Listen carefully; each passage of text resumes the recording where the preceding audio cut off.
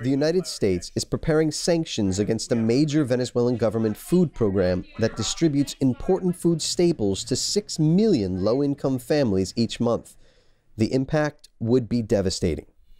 The program is called CLAP, Local Committees for Supply and Production, and it's a lifeline for millions of Venezuelans amid the country's financial crisis. Here's how. When the CLAP boxes arrive to this poor neighborhood in the sprawling Caracas barrio of Petare, dozens of community members turn out. Inside each box is flour, cooking oil, dehydrated milk, and several bags of pasta, rice, and beans. These products are found in stores across the country, but with hyperinflation, they're far too expensive for most Venezuelans. The CLAP is a support. It's a strategy to respond to the fact that food has been one of the main things impacted by the US blockade. Since this is a country that often depends on imported food, this CLAP box here costs each family only 150 bolivares, less than one penny on the dollar.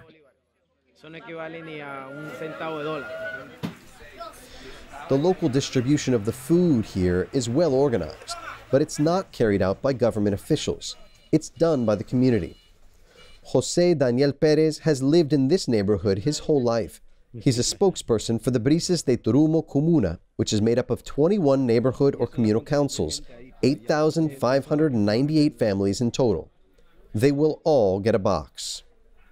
Here in the Por Barrios, they say each home, without exception, receives a box or bag, regardless of political affiliation.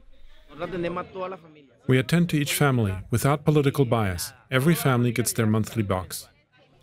Community members help to offload the boxes from the larger trucks onto smaller vehicles, organized by each communal council. These carry the food directly to residents on each street in each neighborhood. The truck arrives, everyone pitches in. On my street, there are 28 families. They bring us the boxes, and we are in charge of getting them to each family. There are no ID cards here. Everyone knows each other. Residents come and pick up their boxes. Carlene Hinojosa is the first. She lives with her family just across the street.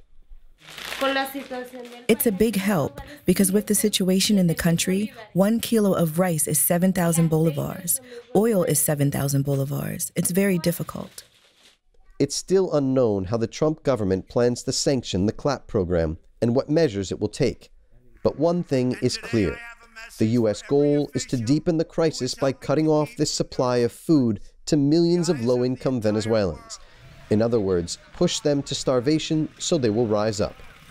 This is not only evil, but it is the very definition of hypocrisy. The Trump administration claims it wants to help the Venezuelan people. What it does instead is knock them down.